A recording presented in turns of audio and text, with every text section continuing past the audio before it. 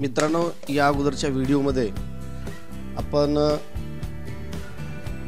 नीट परीक्षेचा जो पॅटर्न आहे नीट परीक्षेचा सिलॅबस कोण कन्स्ट्रक्ट करतं आणि नीट परीक्षेचा पॅटर्न पूर्णतः आपण अभ्यासलेला आहे. या व्हिडिओमध्ये आपण नीट एक्झामचा सिलॅबस पाहणार आहोत की ॲक्च्युली सिलॅबस किती असतो आणि कशा स्वरूपामध्ये सिलॅबस याचा आहे. प्रत्येक विषयावर वेटेज काय दिलेलं आहे तर ते आपण या व्हिडिओमध्ये सविस्तररित्या पाहणार आहोत. तर पहिला पाहूया फिजिक्स या सिलेबस तर फिजिक्समध्ये अकरावी आणि बारावी या दोन्ही वर्षाचा सिलेबस फिजिक्सचा इथे विचारला जातो. केमिस्ट्रीचा सुद्धा अकरावी आणि बारावीचा सिलेबस विचारला जातो. बायोलॉजीचा सुद्धा अकरावी आणि बारावीचा सिलेबस या ठिकाणी विचारला जातो. तर यामध्ये प्रथमतः आपण पाहूया की फिजिक्सचा सिलेबस पाहूया आपण फिजिक्स या विषयाचा. तर अकरावीच्या सिलेबसमध्ये आपण जे काही चॅप्टर अभ्यासलेले आहेत त्या चॅप्टरची मी इथं नावं सांगतोय आपणास. फिजिकल वर्ल्ड अँड मेजरमेंट हा धडा आपण अभ्यासलेला आहे. त्यानंतर कायनामॅटिक्स विचारले वर प्रश्न विचारले जातात. Law of motion work energy and power work energy and power motion of system of particles and rigid body gravitation properties of bulk matter ज्याने ग्रॅव्हिटेशन हा सेपरेट धरा. प्रॉपर्टीज ऑफ बल्क मॅटर हा सुद्धा विचारला जातो. थर्मोडायनामिक्स हा आपण केमिस्ट्रीमध्ये सुद्धा धडा आहे आणि इकडं फिजिक्समध्ये सुद्धा आहे. तर थर्मोडायनामिक्स थोडंसं केमिस्ट्रीमध्ये सविस्तर आहे. पण इथे अकरावीला केमिस्ट थर्मोडायनामिक्स हा बारावीच्या सिलेबसमध्ये आहे केमिस्ट्रीमध्ये आणि अकरावीच्या फिजिक्समध्ये इकडे विचारलेला आहे. तर हा सुद्धा तिथं थर्मोडायनामिक्स विचारला जातो. Behaviour of perfect gases and kinetic जेणेकरून की पूर्वी जुन्या सिलेबसमध्ये कायनेटिक एनर्जी ऑफ गॅसेस असा एक सेपरेट धडा होता. तो theory of oscillations and waves oscillations हा धडा बोर्डाच्या बारावी महाराष्ट्र बोर्डासाठी बारावीला धडा आहे. आणि वेव्ज ज्यामध्ये वेव्जमध्ये बरेच धडे बारावीच्या सिलेबसमध्ये फिजिक्समध्ये आहे. हे हा झाला अकरावीचा सिलेबस. त्यानंतर आता आपण पाहूया बारावीच्या सिलेबसमधून काय काय विचारलं जातं. तर विद्यार्थी मित्रांनो आपण महाराष्ट्र बोर्डाच्या विद्यार्थ्यांनी गोंधळून जायची आवश्यकता नाही. कारण का? की आपल्याकडे जे अकरावीला धडे आहेत ते सी बी एस सीच्या बोर्डाच्या बारावीला आहेत. अकरावी आणि बारावीला. थोडंसं गोंधळून जाऊ नका. अकरा आपल्याकडं महाराष्ट्र बोर्डासाठी जे फिजिक्स सेकंड पेपरचे अकरावीला जे धडे आहेत आणि बारावीला जे फिजिक्स सेकंड पेपरचे जे धडे आहेत ते अकरावी आणि बारावी मिळून सी बी एस सीमध्ये आहेत. आणि आपल्याकडं जे अकरावीला धडे जे आहेत ते बारावी म्हणजे बारावीमध्ये अकरावी पूर्णतः फर्स्ट पेपर अकरावीमध्ये आहे. आणि दोन्ही वर्षाचा सेकंड पेपर हा बारावीला आहे. सिलेबस एकूण एक सारखाच आहे. सिलेबसमध्ये असा काही बदल नाही आहे त्याच्यामुळे गोंधळून जायची आवश्यकता नाही. तर आपण बारावीच्या सिलेबसमध्ये पाहूया. काय काय विचारलं विचारलेलं आहे ते. तर पहा बारावीच्या सिलेबसमधून इलेक्ट्रोस्टॅटिक्स हा धडा सिलेबस विचारला जातो. त्यानंतर करंट इलेक्ट्रिसिटी आपल्याकडं अकरावीलाही आहे आणि बारावीलाही आहे. Magnetic effects of current magnetic effects चुंबकीय परिणाम करंटचे चुंबकीय परिणाम विचारले जातात हा बारावीचा सिलेबसमधला मॅग्नेटिझम बोर्डाच्या महाराष्ट्र बोर्डाच्या सिलेबसमध्ये अकरावीला पण आहे आणि बारावीला पण आहे. पण दोन्हीचा common syllabus C B S सीमध्ये बारावीला आहे वास्टमध्ये सिलेबस आहे. Electromagnetic induction E M I म्हणतो आपण याला. हा आपल्याकडे फक्त बारावीला आहे आणि तिथे पूर्णतः बारावीलाच आहे. आणि त्यामध्येच अल्टरनेटिंग करंट्स आपल्याकडे सुद्धा बा ब स्टेट बोर्डाच्या सिलेबसला आहे अल्टरनेटिंग करंट्स हा पुढचा भाग ई एम आयमधला हा पुढचा भाग. त्यानंतर इलेक्ट्रोमॅग्नेटिक्स म्हणजे ज्यामध्ये इलेक्ट्रिक करंट आणि मॅग्नेटिक फील्ड या दोन्हीचाही यामध्ये अभ्यास केलेला आहे. हा चॅप्टर आपल्याला आहे आपल्या सिलेबसमध्ये आहे. त्यानंतर बारावीच्या सिलेबसमध्ये आहे आपला. इलेक्ट्रोमॅग्नेटिक्समध्ये. त्यानंतर magnetic effect of electric current म्हणून हा सेपरेट धडा आहे त्यामध्ये. त्यानंतर वेव्ज हा धडा आपण बारावीच्या स्टेट बोर्डासाठी बारावीला फर्स्ट पेपरमध्ये आहे महाराष्ट्र स्टेट बोर्डसाठी. आणि ब फिजिक्समध्ये सी बी एस सीमध्ये सुद्धा आहे हा. त्यानंतर ऑप्टिक्स म्हटले. ऑप्टिक्स म्हणजे जे लाईटचे जे काही चॅप्टर्स आहेत ते इथं बारावीच्या सिलेबसमध्ये सी बी एस म्हणजे लाईट्स ऑप्टिक्स म्हणतो आपण. मग आपण बारावीच्या सिलेबसमध्ये state बोर्डासाठी wave theory of light interference and diffraction असे दोन एकत्र चॅप्टर यामध्ये येतात. त्यानंतर dual nature of matter and radiation dual nature जेणेकरून की आपण इलेक्ट्रोमॅग्नेटिक इलेक्ट्रोमॅग्नेटिक थेरी वगैरे इलेक्ट्रो त्यानंतर स्पेक्ट्रम वगैरे ह्या गोष्टीचा यामध्ये अभ्यास केलेला आहे. मॉडर्न फिजिक्सचा भाग आहे हा. त्यानंतर रेडिएशन रेडिएशनसुद्धा यामध्ये सांगितलेलं आहे. पुन्हा modern फिजिक्समधलाच atoms molecules and nuclei atoms आता आपल्याकडे फक्त स्टेट बोर्डासाठी ॲटम्स मॉलिक्युल्स अँड न्यूक्लिया असा चॅप्टर पण इथे मात्र फक्त ॲटम्स अँड न्यूक्लिया तर इथं मॉलिक्युल हा शब्द इथे दिलेला नाही आहे त्यानंतर इलेक्ट्रॉनिक डिव्हायसेस इलेक्ट्रॉनिक डिव्हायसेस म्हणजे वेगवेगळ्या पद्धतीचे इलेक्ट्रॉनिक्स डायोड्स असतील ट्रायोड्स असतील. त्यानंतर फोटो इलेक्ट्रिक इफेक्ट असेल. मॉडर्न फिजिक्सचा पार्ट यामध्ये हा विचारलेला आहे. तर अशा स्वरूपामध्ये अकरावी आणि बारावीचा मिळून एकत्रित स्वरूपामध्ये सिलेबस आपल्याला नीटला विचारला जातो. त्यानंतर आता पुढं पाहूया आपण केमिस्ट्रीचा सिलेबस तर केमिस्ट्रीच्या सिलेबसमध्ये प्रथमतः पाहूया आपण अकरावीचा सिलेबस पाहूया. तर अकरावीच्या सिलेबसमध्ये काय काय विचारलं जातं पहा इथे. तर some basic concept of chemistry basic concept मूलभूत जेणेकरून की मग त्या ठिकाणी डेफिनेशन्स असतील किंवा एम के एस म्हणजे जे सिस्टीम्स आहेत. M K S system C G S system ही पूर्णतः इथे विचारली जाते. आता पाहि इथं केमिस्ट्रीमध्ये बा फिजिक्समध्ये सुद्धा हा ना चॅप्टरचं नाव आपण तिथं पाहिलेलं आहे. ॲटम्स अँड न्यूक्लिया म्हणून. पण इथं केमिस्ट्रीमध्ये स्ट्रक्चर ऑफ ॲटम म्हणून हा सेपरेट धडा आहे. खूप सविस्तर याच्यावरचा अभ्यास आपणास करावा लागेल. Classification of elements classification of elements आणि periodicity in properties periodic table म्हणजे क्लासिफिकेशन ऑफ एलिमेंट्स एलिमेंट्सचं क्लासिफिकेशन मग त्यामध्ये मेंडेल्यूची थेरी असेल डोबेरँडर असेल न्यूलँड असेल यांची पूर्णतः माहिती घ्यायची आहे. आणि periodicity of properties periodicity in properties म्हणजे पूर्ण एलिमेंट्स एस पी बघा S P D block elements यांची सविस्तर माहिती यामध्ये विचारली जाते. त्यानंतर पुढं यामध्येच chemical bonding and molecular structure हा सुद्धा इथे विचारला जातो.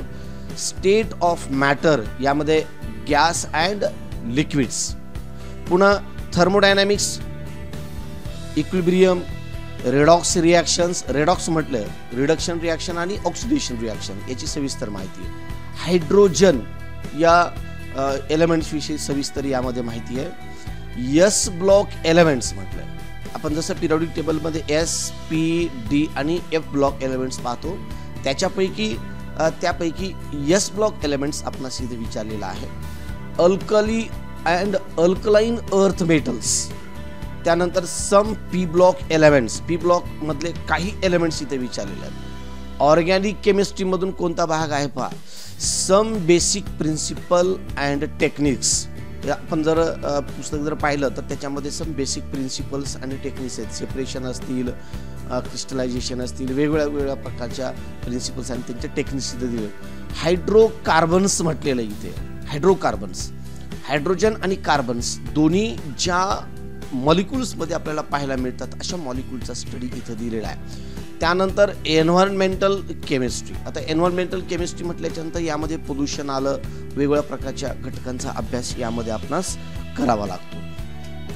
त्या म्हणजे यांच्यातून हे प्रश्न विचारले जातात. आता पुढं पाहूया आपण केमिस्ट्री सिलेबस ऑफ ट्वेल्थ तर ट्वेल्थचा काय काय विचारला जात होतो इथं पाहूया आपण. तर ट्वेल्थ सिलेबसमधून पहा. सॉलिड स्टेट हा पण धडा निश्चितच आपल्याला ट्वेल्थमध्ये आहे. सोल्युशन्स अँड कॉलिगेटिव्ह प्रॉपर्टीज म्हणतो त्यापैकी सोल्युशन्स इथं आहे. इलेक्ट्रोकेमिस्ट्री हा सुद्धा धडा खूप खूप महत्त्वाचा आहे आणि आपल्या डेली लाईफशी संबंधित असणारा. हे पहा केमिस्ट्री आणि फिजिक्स असो किंवा बायोलॉजी असो जे काही तुमचं अकरावी बारावीच्या सिलेबसला आहे ते सर्व डेली लाईफशी रिलेटेड असणारे घटक आहेत. असं वेगळं काही नाही आहे केमिकल कायनेटिक्स हा आपल्याला बोर्ड स्टेट बोर्डाला आहेच आहे. त्यानंतर सरफेस केमिस्ट्री हा सुद्धा आहे. General principles and processes of isolation of elements हा सुद्धा धडा आहे. त्यानंतर पी ब्लॉक्स जे काही आपण यस यस ब्लॉक आणि पी ब्लॉकमधले काही एलिमेंट एस ब्लॉक आपण अकरावी पाहिला पी ब्लॉकमधले काही एलिमेंट्स आपण अकरावीच्या सिलेबसमध्ये पाहिलेत. त्यानंतर D and F block elements पहा पूर्ण पिरियॉडिक टेबल इथं कंप्लीट होतं एस पी डी आणि ए ब्लॉक एलिमेंट्स त्यानंतर कॉर्डिनेशन कंपाऊंड्स त्यानंतर हॅलो अल्केन्स म्हटलंय ज्यामध्ये हॅलोजन आणि अल्केन्स कंबाईन आहेत. उदाहरणार्थ मेथिल क्लोराईड असेल मेथिल आयोडाईड असेल वगैरे ह्यांचं. हॅलो अरिन्समध्ये हॅलो अरेन्स सुद्धा इथे विचारले. दोन्ही एकत्र चॅप्टर आहेत. पूर्वी हा chapter halogen derivative of alkane म्हणून होता. याचं नाव आता बदललेलं आहे. Halo alkanes and halo arenes असं केलेलं आहे. अल्कोहल्स म्हटलेलं आहे. अल्कोहल्स मग मेथिल अल्कोहोल येथील अल्कोहोल यांचा सविस्तर अभ्यास. त्यानंतर फिनॉल्स अँड इथर्स म्हटलं. Phenols and ethers aldehydes ketones and carboxylic acids पूर्वी जुन्या सिलेबसमध्ये बोर्डासाठी फक्त अल्डिहाइड्स अँड किटून हा सेपरेट चॅप्टर होता आणि कार्बॉक्झिलिक ॲसिड हा सेपरेट चॅप्टर होता. त्यानंतर ऑर्गॅनिक कंपाऊंड्स कंटेनिंग नायट्रोजन अशा ऑर्गॅनिक कंपाऊंडचा आपण अभ्यास करायचे ज्यामध्ये नायट्रोजन कंटेन असणारे कंपाऊंड्स त्यांचा अभ्यास. त्यांच्यातून प्रश्न विचारले जातील. बायोमॉलिक्युल्स बायोमॉलिक्युल्स आपल्याला बायोमॉलिक्युल्स म्हणजे जे लाईव्ह थिंग्समध्ये आपल्याला जे काही ॲटम्स वगैरे आपल्याला पाहायला मिळतात जे मॉलिक्युल्स पाहायला मिळतात तर त्या मॉलिक्युल्सचा अभ्यास यामध्ये पॉलिमर्स म्हटलेला आहे ज्यामध्ये धाग्यांचा अभ्यास केला जातो सिंथेटिक मटेरियल्स त्यांचा अभ्यास केला जातो.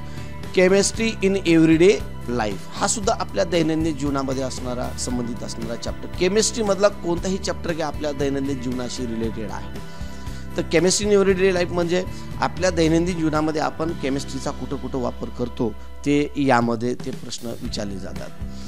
मित्रांनो आता यानंतर पाहूया आपण बायोलॉजीचा सिलेबस तर बायोलॉजीमध्ये कोणते कोणते घटक विचारले जातात किंवा कोणत्या कोणत्या घटकावर प्रश्न विचारले जातात? तर मित्रांनो आपण बायोलॉजीचा सिलेबस इथं पाहूया. तर त्यापैकी पहिला पाहूया आपण अकरावीच्या सिलेबसमधून काय काय विचारलं जातं. तर मित्रांनो अकरावीच्या सिलेबसमधून इथे diversity in living world's.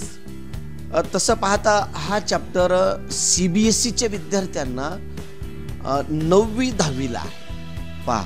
C B S सीचे स्टेट बोर्डाचा जो सिलेबस आहे या स्टेट बोर्डाच्या सिलेबसमध्ये नववीला आणि दहावीला हा चॅप्टर आहे. Structural organisation in animals structural organisation and plants म्हटलं स्ट्रक्चरल ऑर्गनायझेशन त्याची रचना वगैरे कशी असते? मानवामध्ये आणि प्लांट्समध्ये आता इथं नावं तुम्हाला छोटी छोटी दिसत आहेत पण खूप वास्ट सिलेबस आहेत हे बायोलॉजीमध्ये सेल स्ट्रक्चर अँड फंक्शन्स आता इथं पुढचा युनिट आहे सेल स्ट्रक्चर अँड फंक्शन्स आता सेल स्ट्रक्चर म्हटलं मग यामध्ये प्लांट सेल असेल किंवा ॲनिमल सेल असेल. तर प्लांट सेल आणि ॲनिमल सेल ॲनिमल सेल म्हटल्याच्यानंतर ह्युमन सेलसुद्धा त्याच्यामध्ये आली त्यामध्ये आली. तर यांचा सविस्तररित्या अभ्यास केला जातो. मायटोकॉन्ड्रिया सेल क्लोरोफिल असेल हे सगळेच आले सेल वॉल असेल त्यानंतर सेल लिक्विड्स असतील यांचा सविस्तररित्या अभ्यास यामध्ये केलेला असतो आणि यावर प्रश्न विचारले जातात.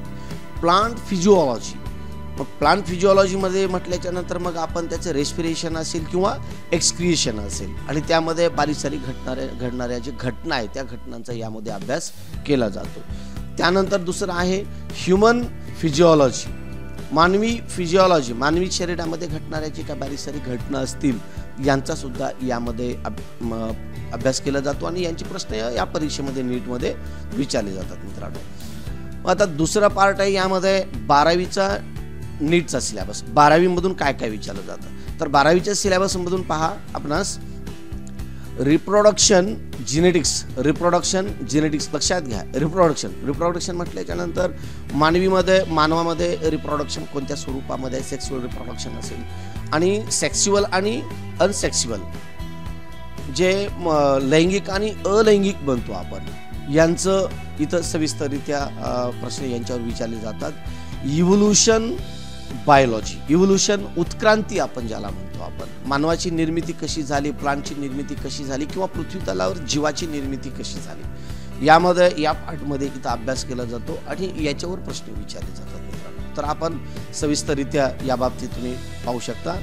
ह्युमन वेलफेअर त्यानंतर बायोटेक्नॉलॉजी आता ह्युमन वेलफेअर तुमच्या लक्षात आलाच असेल तर बायोटेक्नॉलॉजी आज बायोटेक्नॉलॉजीचा खूप डिटेल्समध्ये विस्तार झालेला आहे आणि खूप याच्यावर संशोधन आजच्या घडीला चालू आहे. मग यामध्ये बायोटेक्नॉलॉजी अँड इट्स अप्लिकेशन जसं आपण डॉली ही एक मेंढीचं नाव ऐकलं तर हे बायोटेक्नॉलॉजीच्या आधारित ती नवीन सेल ग्रोथ करून बायोटेक्नॉलॉजीच्या आधारित सेलची ग्रोथ करून एक मेंढी तयार केलेली आहे जे मानवामध्ये सुद्धा तशा प्रकारची घटना होण्याची चिन्ह होऊ लागले होते परंतु त्यावर कायद्याने बंधन आणलेलं आहे. इकॉलॉजी म्हणतो आपण याला इकॉलॉजी. परिस्थितिकी मराठीमध्ये याला परिस्थितिकी असे म्हणतात. तर पर्यावरण मानव या सर्वांचा एक ताळमेळ घालण्याचा यामध्ये अभ्यास केलेला इकॉलॉजी. आणि दुसरं आहे एन्व्हायरमेंट म्हटलेलं पर्यावरण. मग पर्यावरणामध्ये असेल तर ग्लोबल वॉर्मिंग असेल या सर्व गोष्टींचा यामध्ये अभ्यास केला जातो आणि यावर प्रश्न विचारले जातात. आज खूप महत्त्वाचा पार्ट आहे. जसं वैश्विक तापमान वृद्धी असं म्हणतो आपण किंवा ग्लोबल वॉर्मिंग असे म्हणतो की तापमान वृद्धी होत आहे. ती कशामुळे होत आहे? काय कारण असेल? सी एफ सी काय प्रकार आहे? ग्रीन हाऊस इफेक्ट काय प्रकार आहे? याचा सविस्तर अभ्यास यामध्ये केला जातो आणि यावर नीटमध्ये डिटेल्स प्रश्न आपणास विचारले जातात. तर मित्रांनो अशा स्वरूपामध्ये आपण नीटचा सिलेबस कसा विचारला जातो या बाबतीत इथे आपण पाहिलेला आहे. तर आपणास हा सिलेबस किंवा ही व्हिडिओज निश्चितच आवडला असेल. जर आवडला असेल तर आपण हे चॅनल सबस्क्राईब करायला मात्र विसरू नका. आणि जे जे कोणी गरजवंत असतील त्यांच्यापर्यंत हा व्हिडिओज पोहोचण्यासाठी आपण सहकार्य कराल अशी मी अपेक्षा ठेवतो. आणि आजच्यासाठी आपण इथे थांबूयात.